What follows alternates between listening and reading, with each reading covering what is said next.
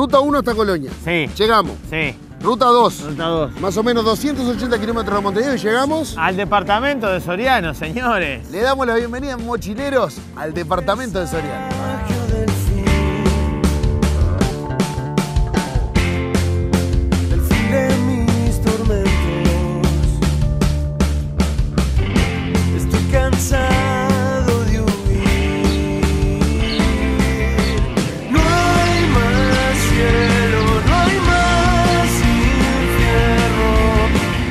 1857 aproximadamente, Irineo Evangelista de Sousa, más conocido como el Vizconde y Barón de Magua, se compró esta propiedad, el Castillo de Magua.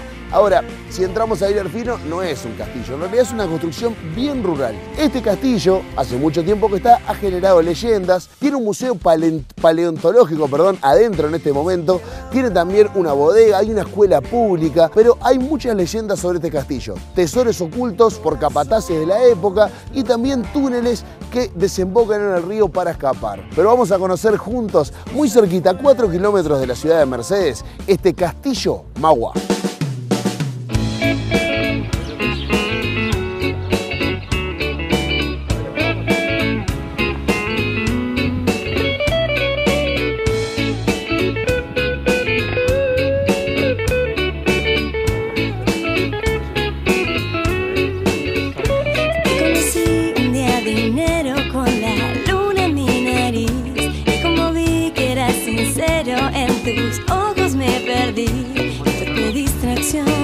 Acabamos de ingresar al Museo Paleontológico Municipal Alejandro Berro, pero obviamente no les voy a mostrar yo todo lo que hay, hay cosas muy interesantes. Para eso tenemos un guía especializado. Muchas gracias.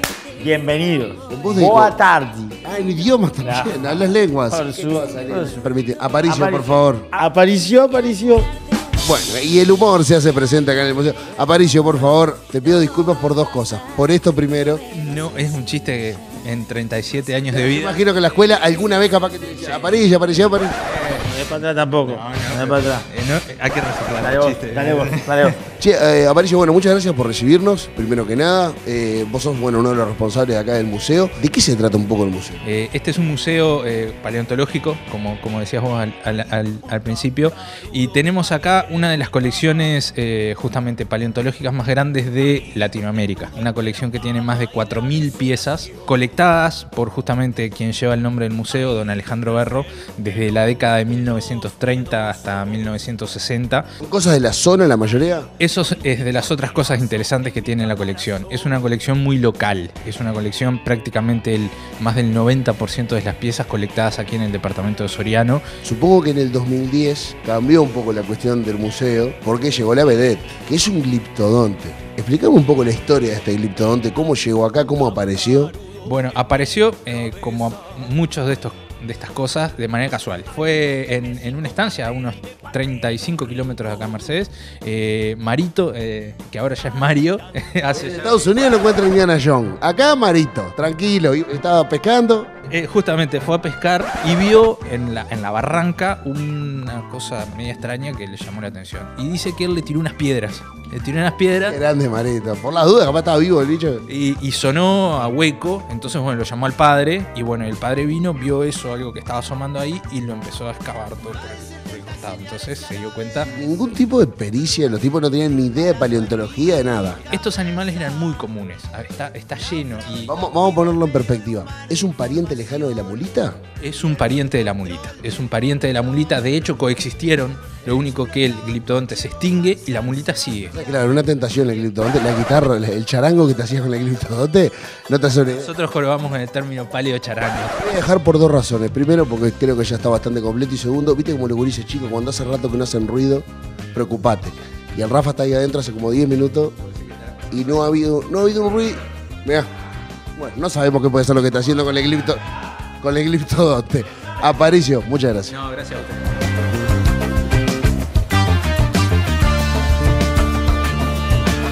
Presenta Sodimac Home Center. Soñá, lo hacemos posible.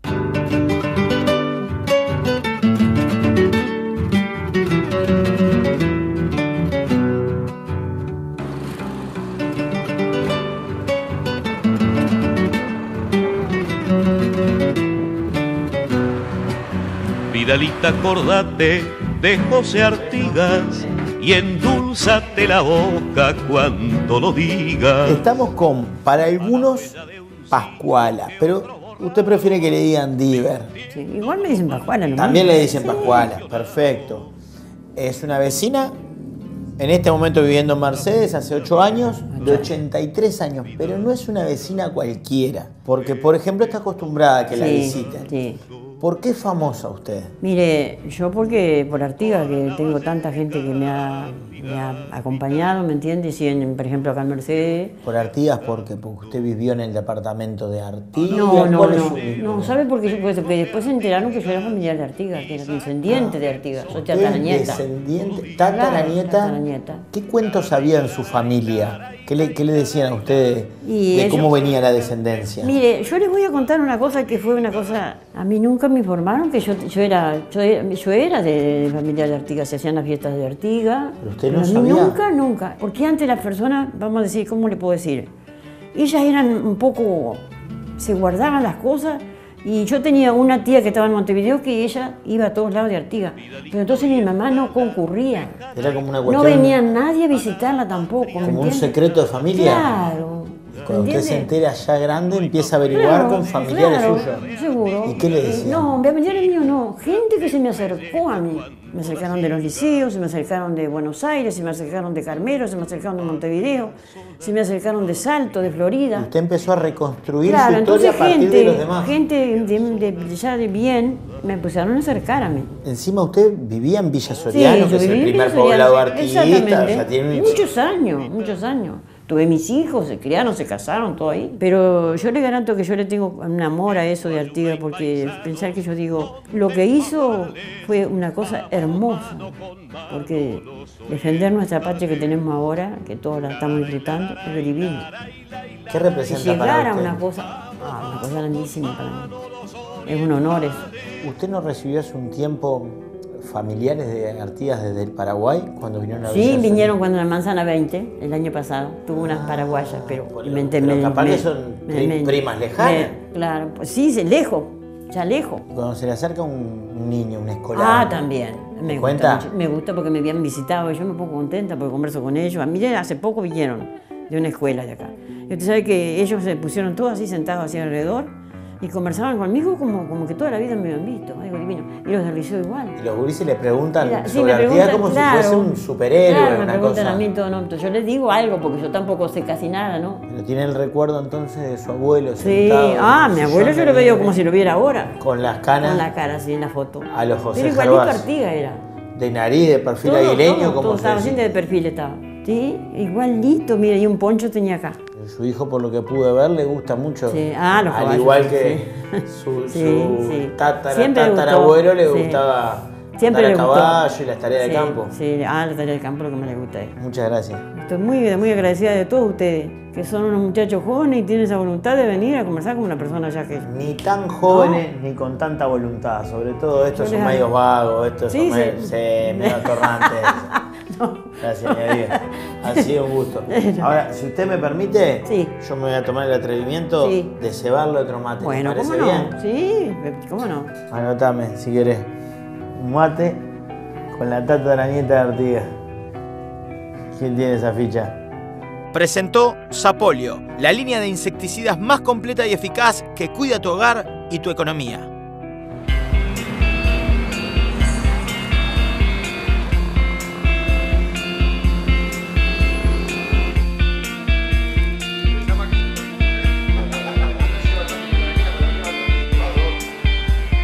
Para mí es un placer presentarle, lo han visto en películas como nada, mentira. Iba a arrancar con lo de Dani DeVito, pero no, no lo voy a hacer. Se presentó como Chiqui, el chef de los siete mares, y yo te creo. Chiqui, ¿dónde estamos? Ubicame geográficamente. Bueno, estamos en la Rambla de Mercedes, en la ciudad de Mercedes, departamento de Soriano. Dicen que en Mercedes sacan la chapa de la mejor rambla del país. Pelea el primer puesto con la Rambla de Río. Estamos ahí. Río Janeiro. Por supuesto. Ay, papá, chiqui, me encanta eso. Vos sabés que yo se me están yendo los ojos desde hoy. No es carne de vaca. Lo queríamos, como lo íbamos a recibir, lo queríamos agasajar un poco con algo típico del departamento, ¿viste? Resolvimos con Gonzalo esperarlo con un cordero, ¿está? No sé por qué, pero veo dos cortes distintos. Claro, claro. eh, acá, ¿viste? Como eh, ¿Vos me decís que va a ser dos platos?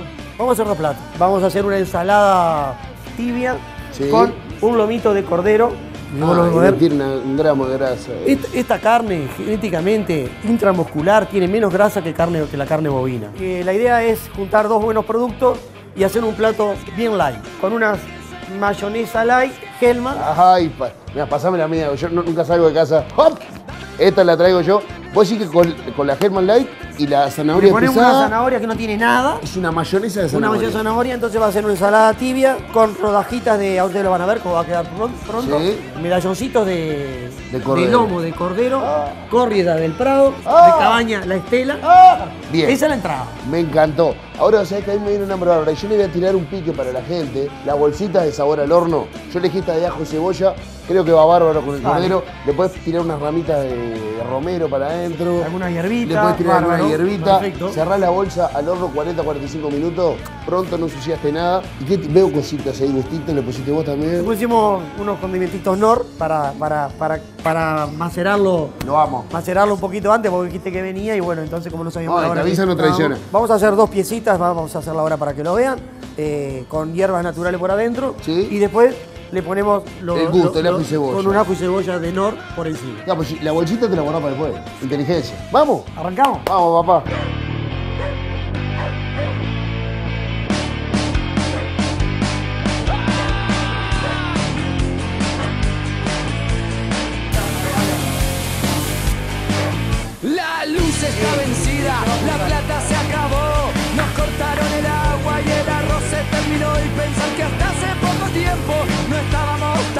Poco de aceite de oliva. Acá este es un aceite de oliva de la región. ¿Qué es esto que no conozco? Y le vamos a poner un coñacito para arriba para darle que después se va a evaporar, pero le va a dejar un, Cognac, nunca había escuchado, no, un no sé qué es. Dale, dale, dale un poquito por ahí. Poquito porque viste que no, no Sí, sí, para darle, para darle un, Ahí. un tac. Así que esto va para el horno. Ah, pa. ¿Cuánto lo cocinaste más o menos? Y esto en la plancha fueron 7, 8 minutos. No tiene pinta el lomo, creo. El punto del cordero, ¿es más complicado que el, que el de la vaca? El cordero, o sea, tendríamos dos puntos, a punto y bien cocido. O sea, el, el- el punto jugoso del Jugoso cordero no- no- no es lo ideal, digamos. No es el ideal, exactamente. Diego, ponele la, la, la mayonesita ¿Cómo?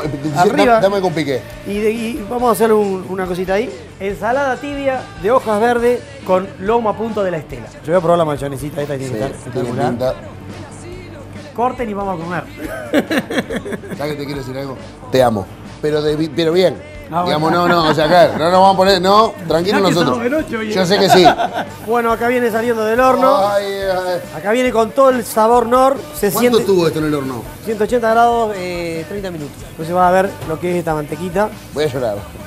Y esto es un jamoncito, porque sabor ya tiene esto, el sabor, se, lo dio, se lo dio honor. Ah. Entonces ahora, y bueno, me parece que con este platito no nos queda más que irnos a dormir para mañana y a las 7 de Dolores. ¿no? Ay, vos decís que me levanto después de esto. Chiqui, en nombre de Mochilero te queremos agradecer por varias cosas. Primero, por recibirnos espectacularmente como nos han recibido acá en Mercedes. Segundo, por darnos de comer. Y tercero, por darle color, papá, que me encantó. La verdad, un placer conocerte. Bueno, el, el- el- yo hice muy poco porque teniendo a Nori y Hellman es facilísimo. Y papá, y estamos acá mano a mano. Se vienen acá, Martiniano, está en la Rambla, está divino. Si vienen en verano, va a estar el patio cervecero. Les juro que la van a pasar bien, que van a comer riquísimo. Así que desde Mochilero los invitamos y si me disculpás, me voy a tener que llevar todo porque tengo gente esperando. Vamos arriba. Siempre quise hacer esto.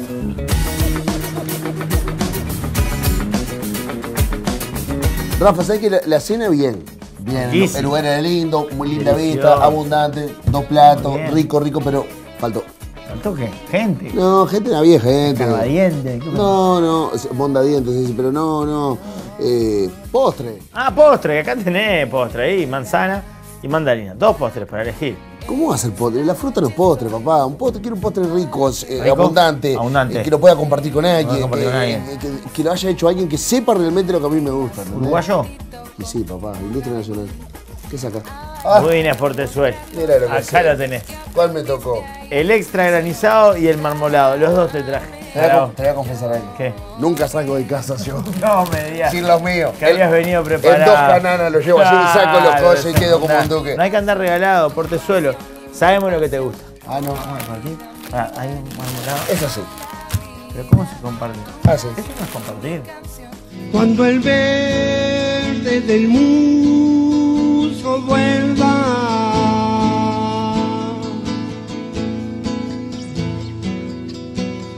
A cubrir la pared en sombras.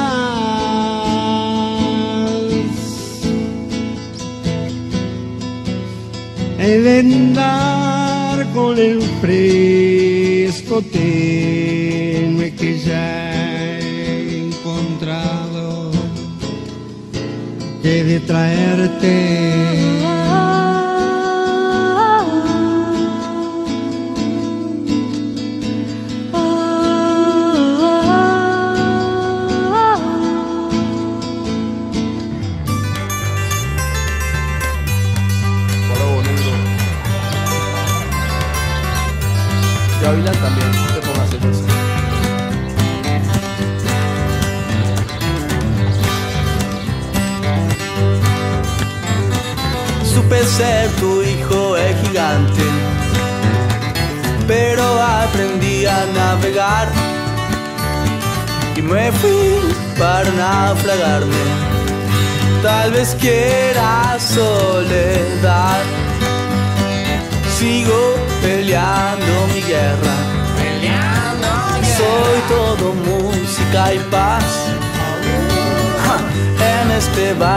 No hay prisa solo pienso disfrutar.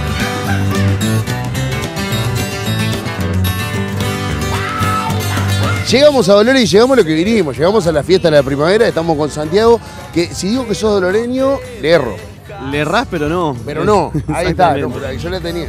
Sí, sí, eh, mi familia es de acá y, y bueno, y a partir del, del tornado del 15 de abril como que el arraigo a, a la ciudad se, se afianzó un poco más por, por el trabajo que pudimos hacer junto con un montón de gente. Vos sabés que en Santiago esas cosas por lo general pasan. Cuando hay un, hecho, digamos, violento como, lo, como fue lo, del tornado, que para la gente que estuvo acá fue horrible, pasan dos cosas.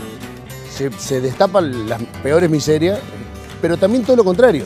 Salen todas las cosas buenas de la gente también. Este, y Dolores eh, le pasó algo especial ese día. Ese día no, el día después, por ejemplo. Digamos que hubieron de esas cosas de los indeseables que fueron el 0,001%. Fueron los, hubo no, no justicia por mano propia, pero fueron los propios ciudadanos los que frenaron a la semi-ola de, ro- de robos que hubo por un ratito. Y después de eso fue una avalancha de actitudes positivas desde todo el país, no solamente desde Dolores. Y, la gente no paraba, no paraba de mandar no solamente eh, cosas materiales o no solamente dinero, las cartas de los niños que nos llegaban a nosotros Ahora, Santiago, ¿sabés que nosotros cuando, cuando enfilamos para la fiesta de la primavera dijimos, bueno, esto pasó el 15 de abril? Eh, la gente en la cabeza quedó que fue hace 10 años, no, fue ahora nomás, el tornado. Yo qué sé, harán la fiesta de la primavera, no se hará. Eh, ¿Qué pasará este año? ¿Harán algo diferente? ¿Algo más chico? Porque el pueblo no está de ánimo. Y nos encontramos con todo lo contrario. Explotó. Es que era el momento de hacer catarsis. Eh, es el, calendario doloreño, como llamamos, que, a diferencia del gregoriano que va de primero de enero a primero de enero, bueno, el nuestro va de segundo fin de semana de octubre a segundo fin de semana de octubre. Y estamos muy acostumbrados a ver a los gurises de los liceos haciendo rifas, pero este año se, se topeó mucho más. ¿Por qué? Porque las carrozas que antes eran majestuosas, que de repente ocupaban media cuadra y tenías 300 gurises desfilando con eh, trajes al estilo Carnaval de Río, bueno, este año se puso un poco el, el pie en el freno en eso y se apuntó más que nada por el lado de la unión y de la alegría, que sí, tenemos carrozas por suerte y lo que se hizo fue apuntar a agudizar el ingenio lo más posible. El pueblo se lo ganó, se ganó festejar, pasó las mil y una, pero lo, lo fundamental son ese tipo de cosas. Los nenes, Niños. que se divierten más que nosotros. No lo dudes. Gracias, Santiago. Mochileros, a partir de este momento les vamos a mostrar el color, la fiesta y la alegría de un pueblo que se llama Dolores, que está a 200. 265 kilómetros en la ruta más directa. Hoy por hoy, digamos, 300 kilómetros. Vamos a decir 300, a 300 kilómetros. Divino, realmente divino y lo van a empezar a disfrutar. Ahora en Mochilero, mira. Es la tristeza, es una gran. Canto con los amigos que todo lo que querían. Esto no es un velorio, es una fiesta para arriba. Que hace que este momento me dure toda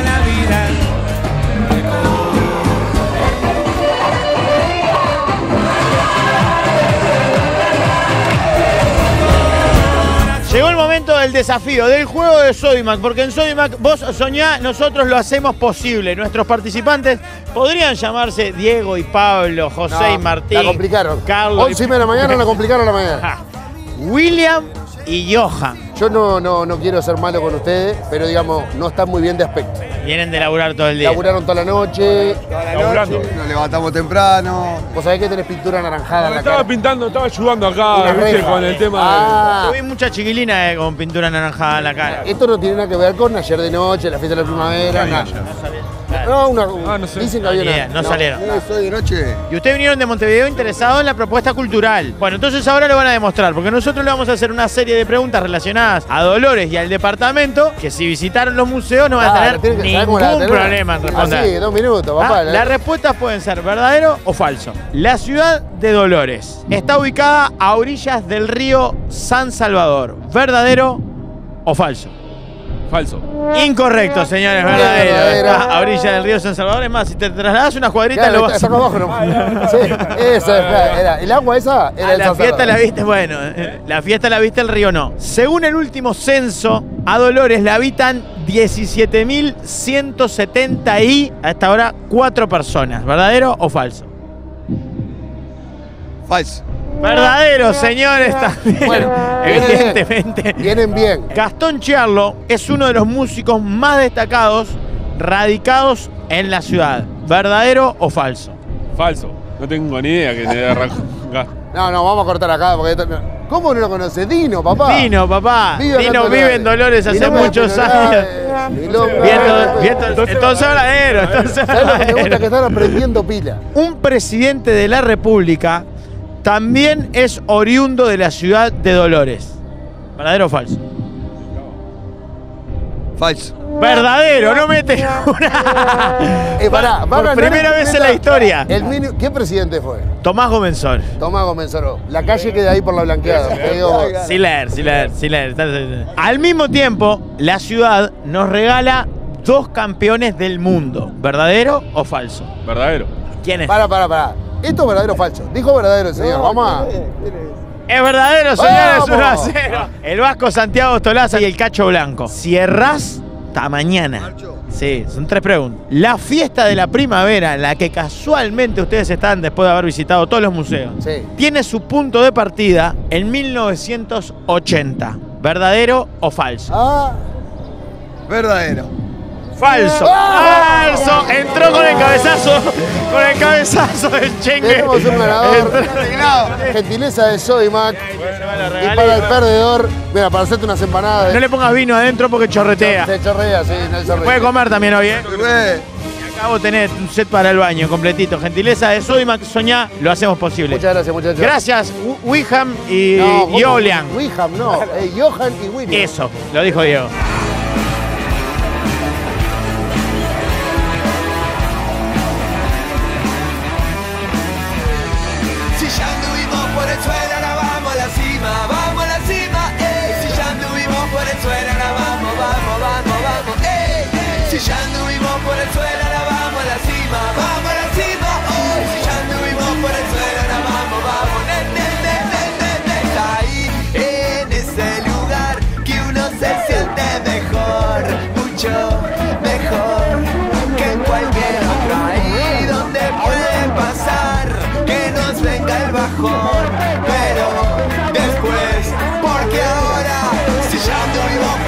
Esto? Esta es una fiesta en homenaje a Dolores que sabe levantarse de, de lo que le pasó. Festejamos, estamos bien, ayudando a los que todavía no lo están, pero como una generación que ya pasó hace varios años por la fiesta, recordando nuestros años de liceo, por eso las vestimentas. ¡Vamos, Dolores! ¡Vamos, Dolores! Venimos con la vestimenta de nuestros carros de hace 15 años. Son de una generación 92 que se 92, juntaron- 93, 94, 95, hasta el 97. Están festejando que llegaron porque no pensaban que iban a llegar. A esta edad no pensaban que fueran a llegar. La figurete acá en la foto. Escúchame, ¿cuántas cuadras desfilaron? Ay, como 20, creo, pero parecen eternas porque tenemos 36, hace 20 años, 25 años que salimos por primera vez. Hicimos una representación de los trajes desde el comienzo, Estos fueron más o menos los trajes que ustedes usaron al comienzo. más o menos, con algunas con algunos kilitos de más. Escúchame, diferencias cuando, cuando eran estudiantes, la vivieron igual. Tan chocho la vida, te quiero decir. Estamos fascinados, nos renovó la energía, estamos a flor de piel y la No, no, está para seguir desfilando 40 cuadras La más. idea era colaborar con Dolores, la verdad que necesitaba... ¿Estás viviendo acá? Sí, sí, soy de acá. Necesitaba esta alegría y, la verdad que buenísimo si la pudimos brindar. Ahora, Gurice, ¿saben qué? Gurice, le voy a decir Gurice porque son, para mí hoy son estudiantes de 15 años, ¿está bien? ¿Cuánto rato le dedicaron a lo que vio la gente hoy en estas 20 cuadras? Las muchachas de acá de Dolores están ensayando y los muchachos de hace como más de un mes, ¿no? Eh, una compañera fue justamente la... Para- no, a mí no me jode. ¿Ninguno está agitado? ¿No ves cómo estoy? Espectacular. Yo hago 20 cuadras caminando, me muero. La Dolly, mirá la Dolly, la Dolly, la Dolly es, aparte de Cleopatra, es mujer de un gran amigo, músico, director de la Mojigata, de la Catalina, un grande como Darío Prieto. Le digo, Dolly, ¿y vos sos de acá? Obviamente soy acá, mi, mi sobrenombre se debe a que soy de Dolores. Me empezaron a decir Dolores, Dolores, quedó en Dolly, el Emi... Bueno, ese amigo, ese Emi, claro, tenía un poder de convocatoria un poquito más grande que el tuyo, digamos. Ese momento. Era más popular que en ese momento. Ahora con Cleopatra, ese Emi es. El Emi Branciari. El Emi Banciari, exactamente. Emiliano Germán para... Emiliano Germán. Ah, está bien sacar trapitos al sol. Acá me imagino que no te dicen Dolly. No, seríamos todos Dolly, quedaría- sería medio confuso llamarnos... ¿Acaso? Andrea. Andrea, para atrás. Cuenta que en Bicholandia armaron una comparsa a salir en las llamadas concursando en carnaval. Los piojos tocan el chico, las pulgas satan repican, el piano retumba y tumba, lo tocan los mandangas. Los cascarudos forzudos hacen girar las banderas, mariposas de estandarte, mil colores al bailar. Las polillas regordetas hacen a la mamá vieja, el tembleque gramillero, un viejo mamboleta. Con su capa de lunares, San Antonio es el que baila, y una bella hormiga negra es la bebé principal. Un milongo canta un grillo con un coro de cigarra, se hace bolas con la escoba, el bicho de la humedad. Y allá van las comparsas. ¿Cuánto laburo se metió para esto que acabamos de ver? En tiempo, más o menos. Y mira, esto lleva un mes y medio más o menos. Este año porque fue especial. Generalmente trabajamos más tiempo, pero esta vez se sacó medio express. Vos sos el responsable de animar a la gente, motivar a los gurises para que no aflojen durante todo el recorrido. Laburo lindo también. Sí, está bueno. A mí en lo personal me gusta mucho. Siempre pum para arriba y a la gente eh, apoyando mucho con las palmas, a los chicos y apoyándolos siempre. Juntar una cantidad de gurises de esta edad y que practiquen la coreografía, que se enrosquen, eso supongo que aparte de ser un trabajo, es divertido.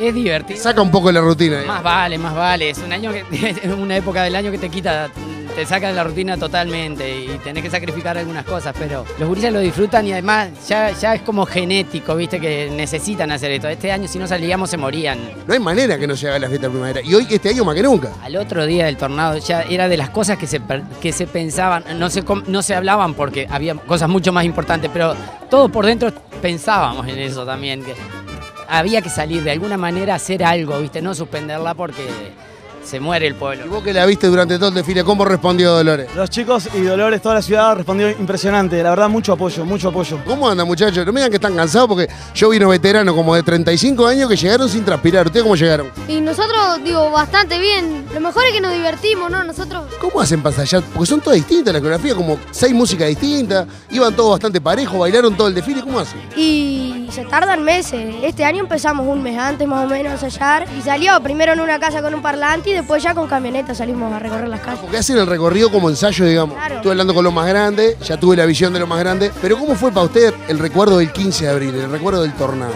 Eh, nosotros estábamos en el recreo y eh, en una, los gurises vieron que humo, que un incendio, que, que nubes, que yo digo, no, eso no, no son nubes, eso es un tornado, papelito.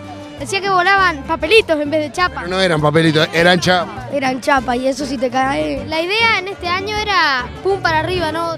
Darle alegría a la gente, ¿no? Porque el pueblo estaba como un poco caído y por eso hacer la fiesta, ¿no? Porque hay gente que piensa, ah, hacer bruta fiesta después de que pasó un tornado, que hay gente que todavía está viviendo contenedores. Pero desde mi punto de vista es una cosa que distrae un poco al pueblo y que anima más y no estar constantemente pensando en lo que pasa. Yo les digo, desde afuera la rompieron. Estuvo buenísimo, la gente se divirtió mucho. Y nos vemos el año que viene.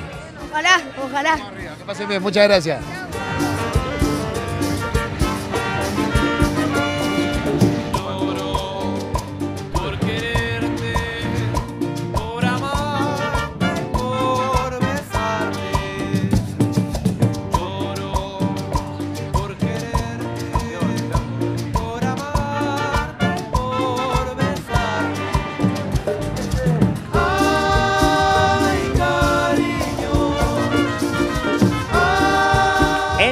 En Yuta, con toda su línea de electrodomésticos, está en todo el país. En Dolores también podés encontrar los productos en Yuta en lo de Marcos Carboni, en Yuta. Toda una vida contigo. Vamos a encarar, vamos a encarar con el Yuta. Enjuta presenta la promo del año. Toda la línea Enjuta y además una casa. ¿Vieron el comercial Encará de Enjuta? Bueno, acá estoy. Encaré. Claro, Rafa, porque te podés ganar toda la línea Enjuta. ¿Qué tal? Bueno, la verdad que estoy emocionada. Enjuta además te regala una casa a estrenar. Sí, Enjuta te regala una casa. Con Enjuta es mucho más fácil. Con Enjuta es más fácil todo. Hasta ganar una casa. Como dice Rafa, Hacé como yo. Una casa no se gana todos los días. Una casa donde quieras. Un mochilero. El amigo Alejandro Corbi nos invitó a hacer senderismo. Pero yo, ¿qué hago? Sendero. Vos decís, está, agarramos un poco. No, es por el agua. Eh, con un alto riesgo de. Sí, no hemos tenido grandes experiencias Sí. por los ríos de nuestro país. Nos hemos mojado, básicamente, pero no.